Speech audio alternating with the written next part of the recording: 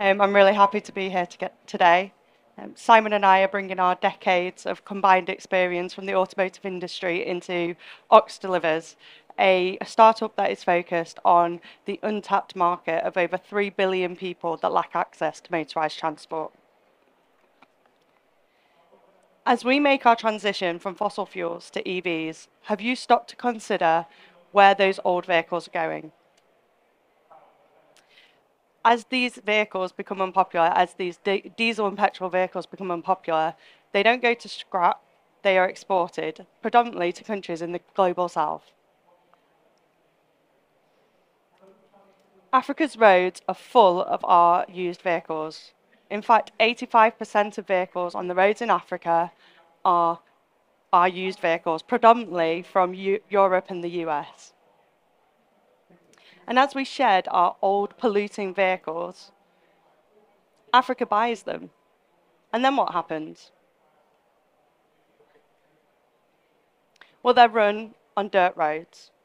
They're using poor fuel quality, and low incomes means little to no maintenance no MOT requirement means that emissions go unchecked. So emissions explode. In fact, they become three times more polluting. Only five markets in Africa have regulations in place. The, the highest of that is EU4. The lowest is EU2. EU2 is what we had in the UK 30 years ago. And these cheap vehicles provide a quick fix solution but they're also compounding the climate change.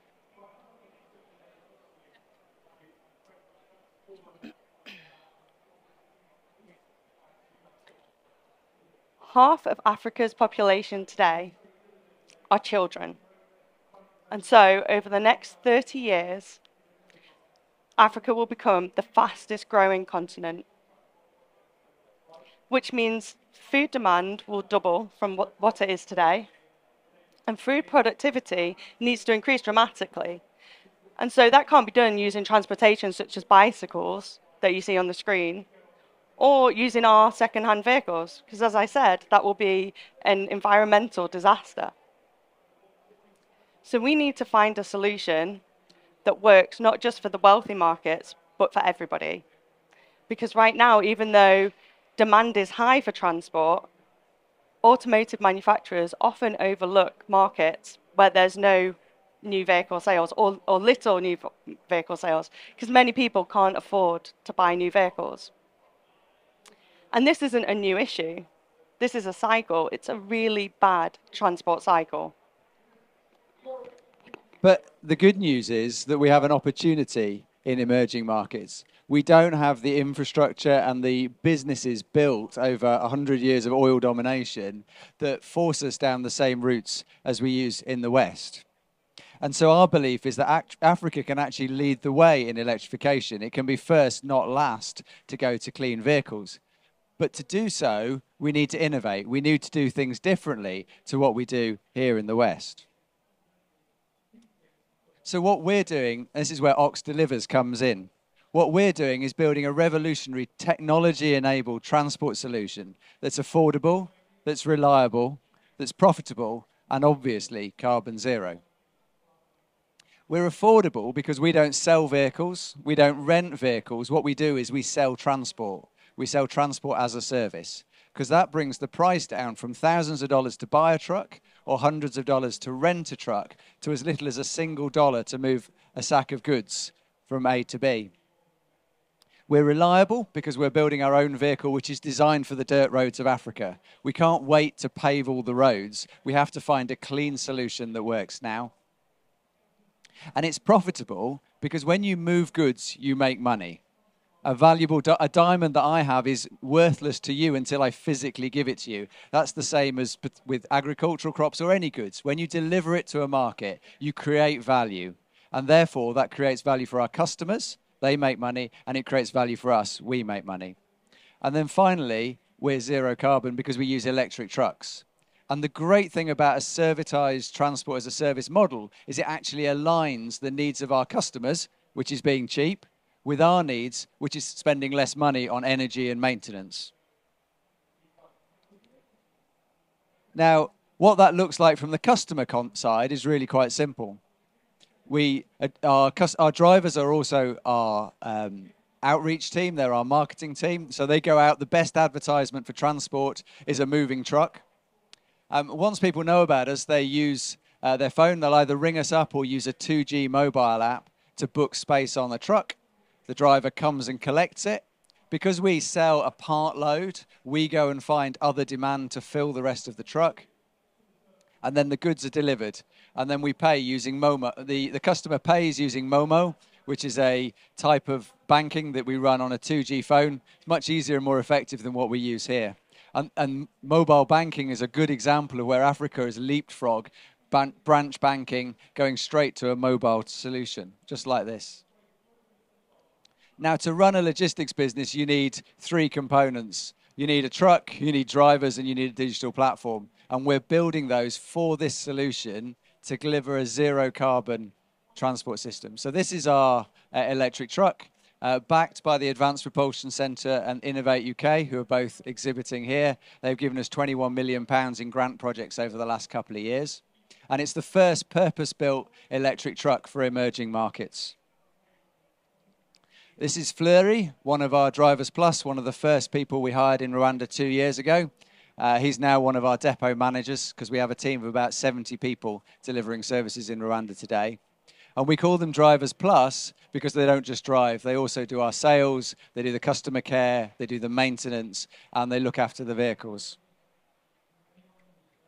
Um, and it's not just us that thinks it's a neat idea. Time magazine uh, labeled us as one of their innovations of 2022 last year um, because we're building a system that will enable Africa to move away from using bicycles, which is the dominant solution in Rwanda, to building a productive but clean transport system that drives productivity. And therefore, that means it drives economic growth, it drives social impact, and it drives climate change. Um, uh, and finally, we are going crowdfunding. So uh, you too can join us on this journey. We're selling equity. If you put the QR code in, you can get early access to our uh, campaign, which will open in a couple of weeks. Um, happy to take questions now. Um, if you don't have a chance to do that, we have a stand uh, on just off the main area, right next to NatWest, who will give you a free coffee or a free drink, um, and then you can come and talk to us. Thank you. Thank you very much for the presentation. Yes. Any questions from the audience? You can raise your hand and I'll hand the mic to you.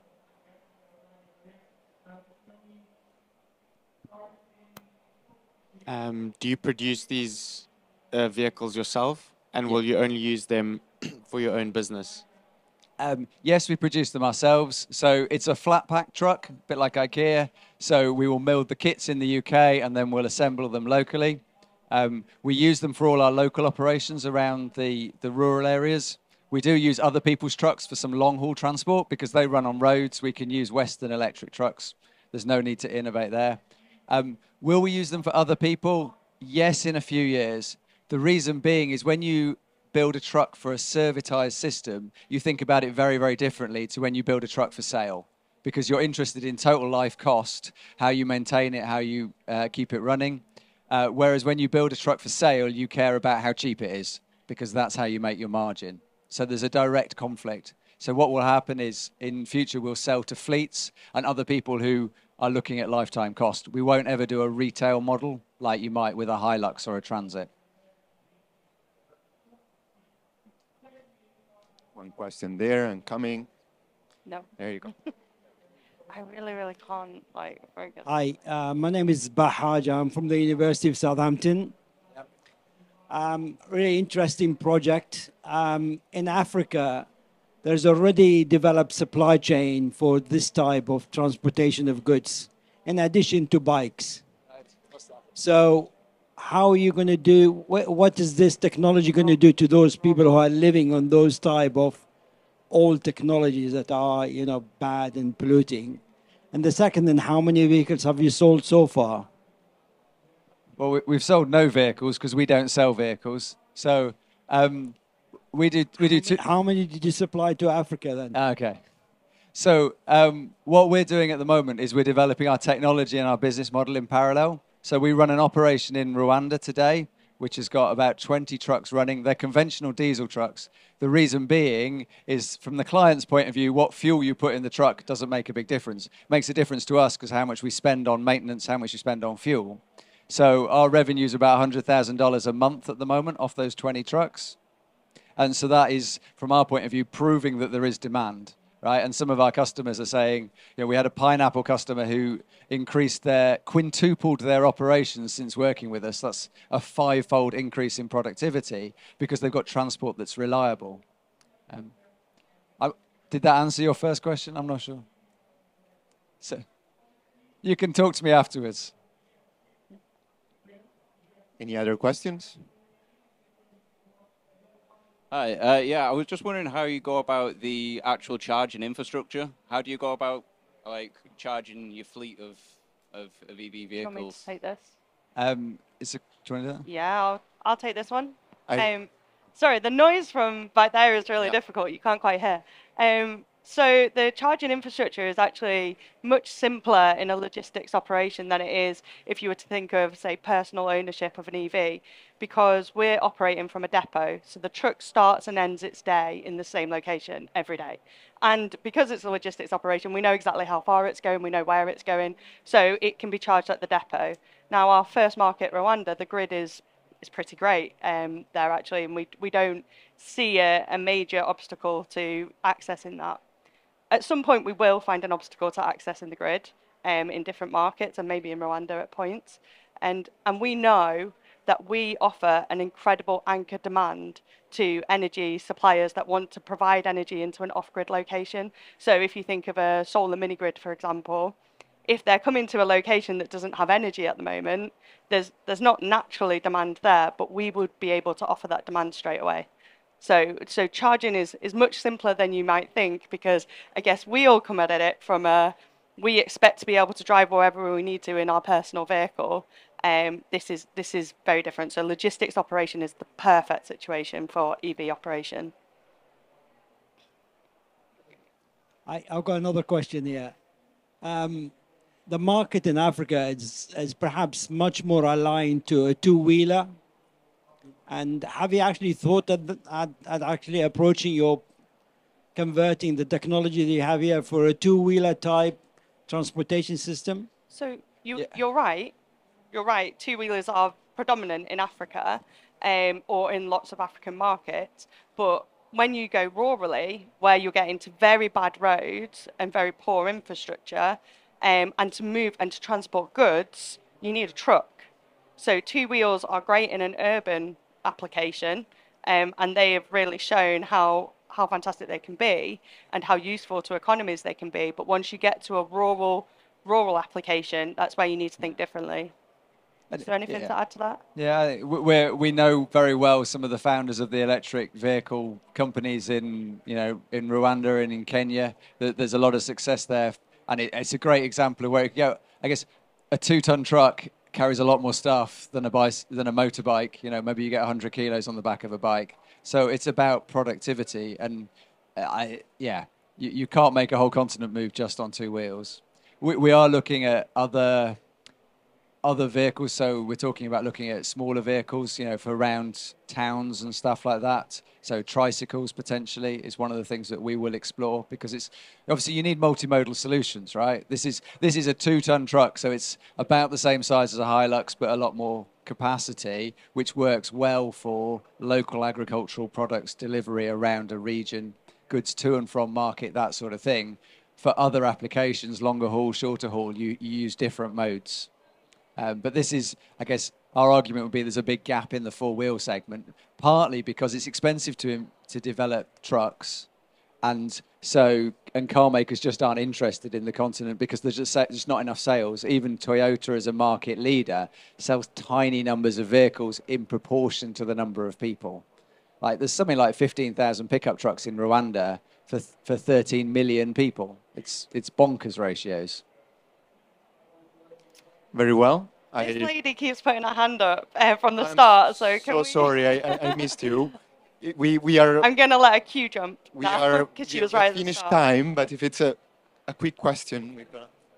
Thank you. Actually, one of my questions was answered, but I have a new Oh, one. okay. But I have a new one. Um, yeah, I was wondering. I'm not an expert like technology of cars, but I know one of the challenges in uh, sustainability and like moving to EV cars is actually like producing a new car. uh, Like it's a lot of emissions, right? We don't want to just like bin the old engine cars. We also want to like think and how potentially use them. So like, have you considered like yeah adjusting the you know the diesel cars to EV or or not necessary?